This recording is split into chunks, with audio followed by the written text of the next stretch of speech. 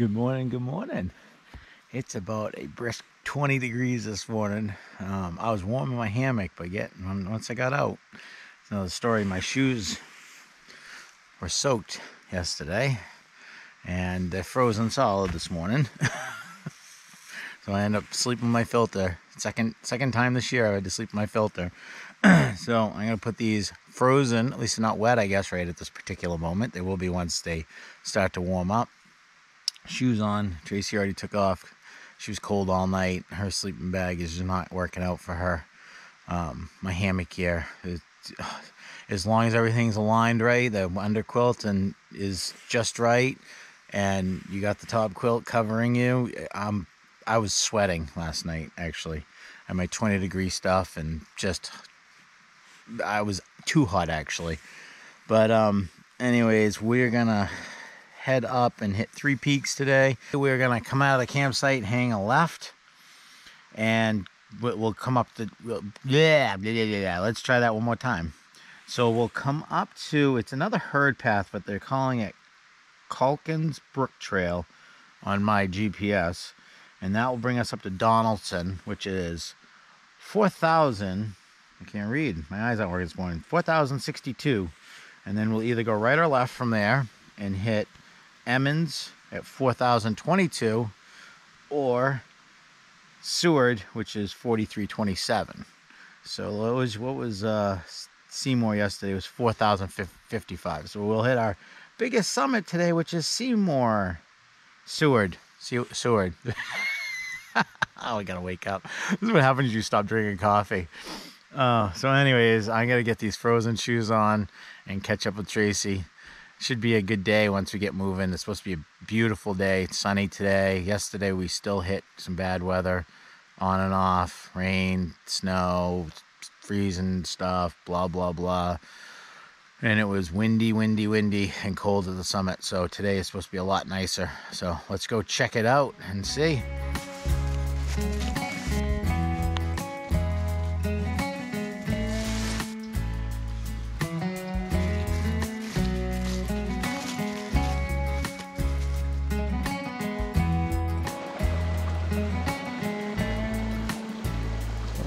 Like this anymore.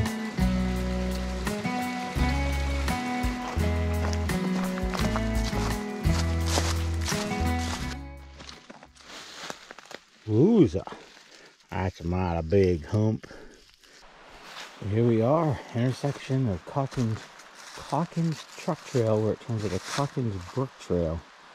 Heads up the mountain.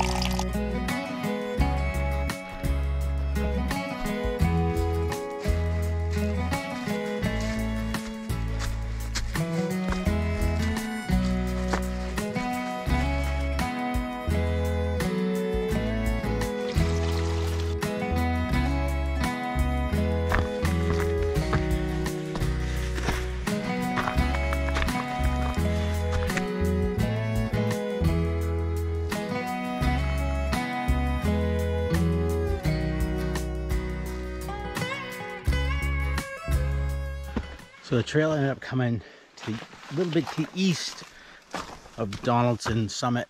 So we decided to go over to Seward first, get the big one out of the way, and go back over to Donaldson and then off to the other one. So anyways, let's get this done. Bit icy up here, but not too bad. Not, not enough to need micro spikes yet. And it's supposed to be in 47 on the summit today, so some of this, oh, so some of this should melt.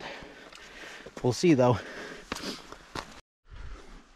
So that's where we, we came up on the east side of Donaldson and we decided to come over here to Seward first. So coming down in the coal and back up and we will go back up Donaldson to the summit, down around over there to Emerson There's where we're heading. It's the middle hump. Can't see the one to the left from where we are. One from the left look cool actually, but we're gonna kind of go around it. We're gonna go right up diagonal up this one. But of course, in the way the Adirondacks like to do it, we get to drop like a rock first.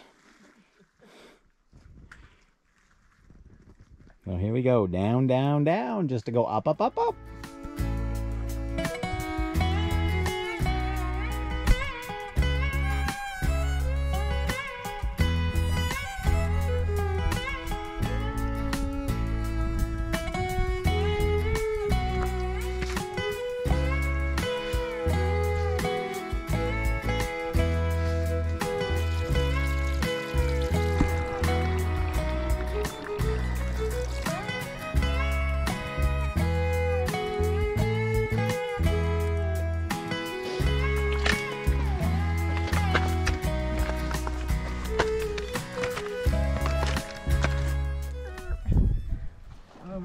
Over Emmons where we'll be going. I'll let you narrate my video. Can you see that? Emmons, right over there. So, and then we'll come back, uh, back over Donaldson and head out, and that will be the end of our hiking for this week. Well, here in New York, anyway.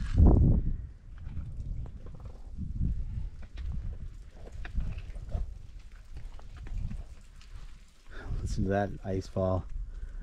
We're still gonna get wet. It's spectacular. But we can keep going this way. Yeah, we can kill ourselves. There we go. Summit of Seward Mountain.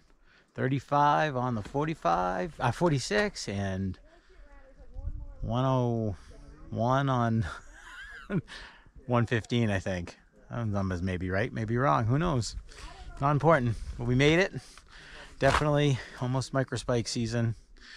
Um, not quite enough ice yet to use them, which isn't always a good thing because it's like in between borderline using them and that's always the that's always seems to be the time when I take a tumble. So, anyways, get a little spin of the summit and head back down the way we came. It was like a little less than a mile from the intersection over to here, so wasn't that bad. Exciting summit sign and trees. Whoopee! Oh no. You have a rope? Yeah. this is gonna help me any. Yeah, you got another Give me inch. Another inch. Do you want me to go up first? Or is he? Oh, there's some folks up there. There's some voices. You wanna Alright, make sure she's up there? Father son. Pass to me, I'll get in Oh, Oh, nice. do you want to push? I got it. you got it. Whoa.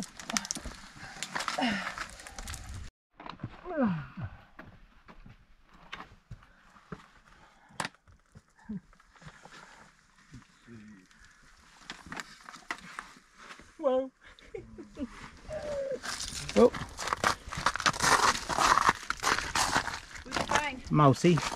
Ah, you're lucky there was ice here. I would have caught you. Oh, there he is.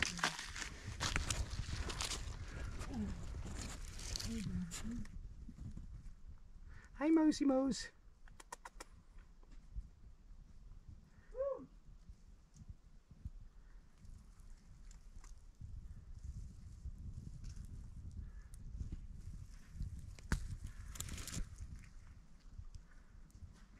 He is a fat mouse. Jeez him.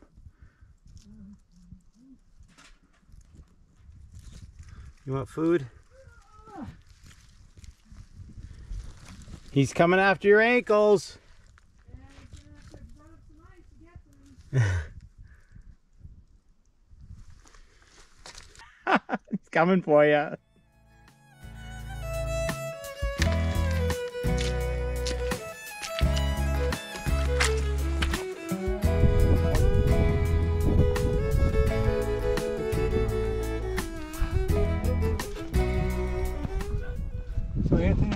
Massachusetts person or New England? I'm person? from Maine. Are you from Maine? Yeah. I, I, I picked up on some sort of New England. Yeah. So we're going with this for the summit. of Donaldson. I looked up on Facebook. Uh, a year ago, there was a sign. Couldn't find one, but yet we found a tree with nails in it. So, look at the pine tree right there. There's a couple nails. Some was tied there for a while. And it's right on the viewpoint. So, this is what we're going with officially the summit, and that was the tree right there. Done and Dunner. That's where we just came from.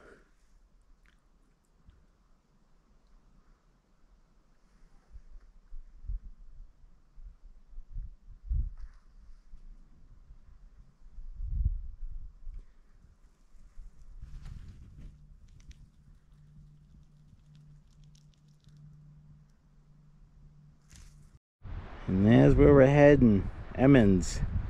A little nub right there.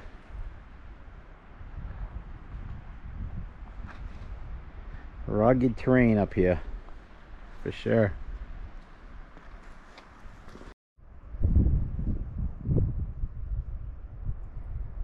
Viewpoint before the summit.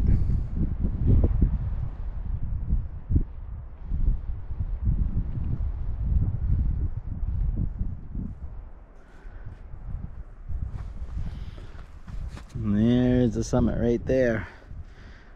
Getting there. Gonna climb up on the ridge and then it's just a ridge walk over. Easy peasy.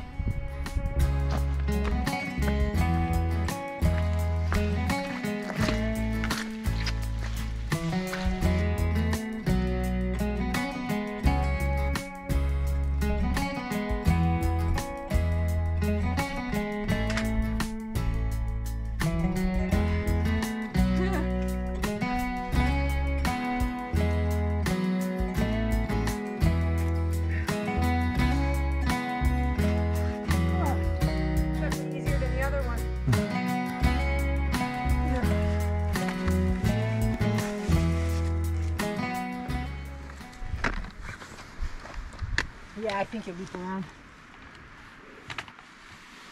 But I'm here now.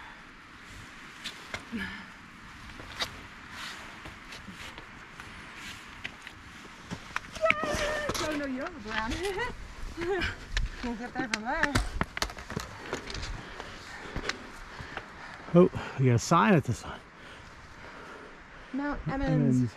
Woohoo! Oh yay.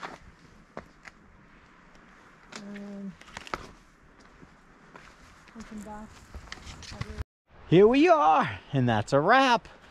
Last summit about this vacation. Um, we're gonna head back down. Well, actually, we go back over. what's it? Donaldson, and then uh, about four miles down back to our campsite. Spend the night at camp, and then we'll wake up whenever we wake up. Hike out. It's only like two miles to the car. Get in the car, maybe get some breakfast or lunch, depending on how long we sleep, and then start the six-hour drive home. Here we go. Emerson done for 37 of 46 and 104 of 115. Nice, yeah, nice firm tree.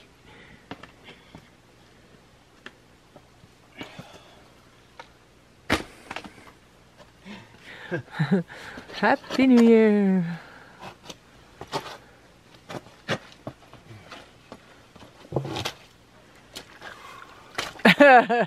splash, Yeah, I gave up. Probably shouldn't. It's be like cold.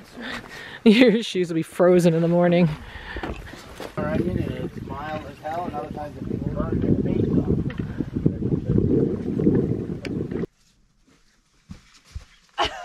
I see you. How'd you see me? I think I saw the red light. I saw light. I, I don't know what I saw.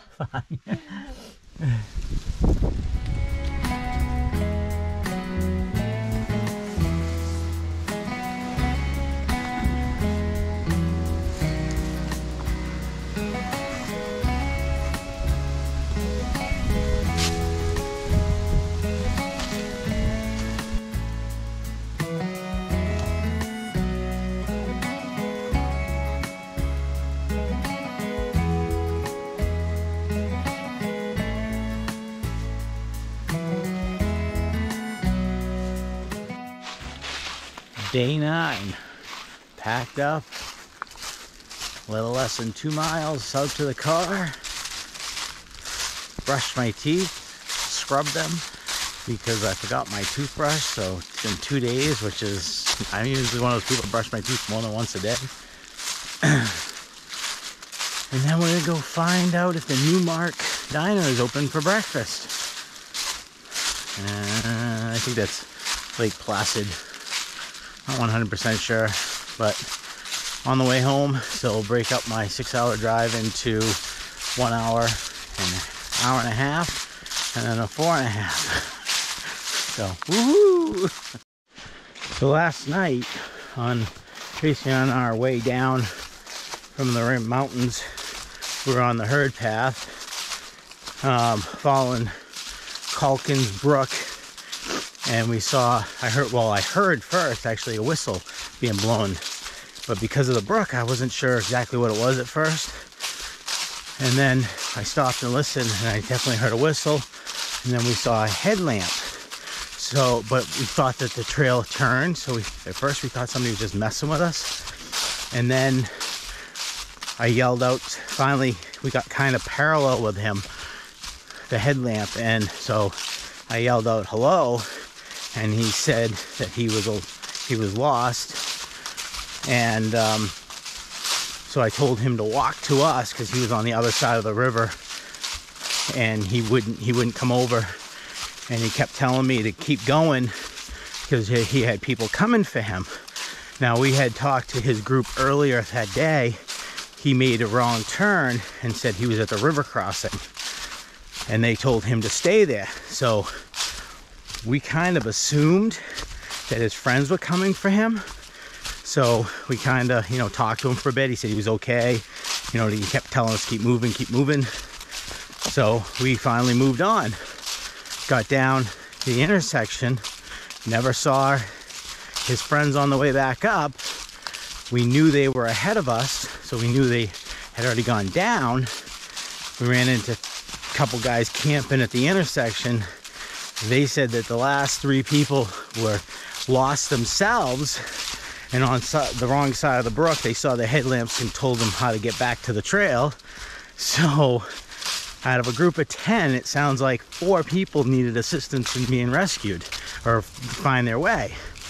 So anyway, the kid, um, so I, so I heard those guys camping told us that there was a person that they had gone by 20 minutes before. So I hoofed it down trying to catch up with him. Came across the ranger on his way in, looking for him. So he, who was coming for him was a ranger, not his friends. Whoa. So I told the ranger where exactly he was and that he wouldn't come with me. And the ranger was, you know, frustrated because I guess he had another rescue to do. and they're so short-staffed and overworked with all these rescues lately. So anyways, short so moral of the story, I guess, is I screwed up because I should have gone to him. I didn't realize he was such a new hiker the ranger said it was it was like a second hike or something. So and that it's common that when they tell them to stand, stay in one spot, they literally stay there no matter if they could get rescued earlier. Because um, we would have crossed paths with the war- ranger. There's only one way back out to the trailhead. Um, so I mean, I kind of screwed up. I didn't know any better. I've never been lost. Never had dealt with anybody that's been lost.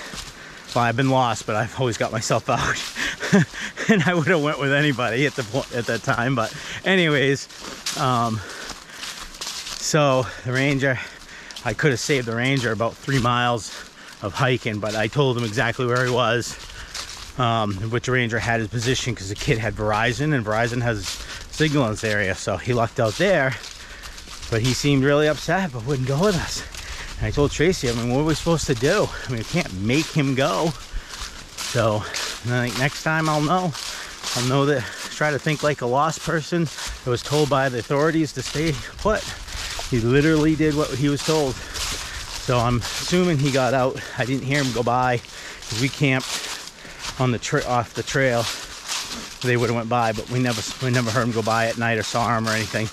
But like I said, the ranger had his GPS coordinates had I had told him exactly where the kid was. So, anyways, lesson learned for me, lesson learned for the kid, hopefully, and we'll all come out with a little bit more knowledge.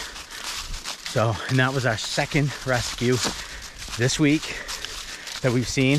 It's two rangers rescuing people, and we assisted in a dog recovery that was lost for two days. What an interesting week. Anyways, batteries almost gone, memory cards almost gone. So that is going to wrap up this nine days in the Adirondack. Um, we'll be back next weekend for the Dixes, three day, two night, and then we'll have one more weekend out here to do two day trips. Stay in a hotel that weekend, and we will be 46ers. So, anyways, if you like this video, hit the like button. New to the channel, hit subscribe. Look me up on Instagram, Trail Slippah. Um, got any questions? Post them below. Suggestions, whatever. So anyways, this is to be continued until the Dixes.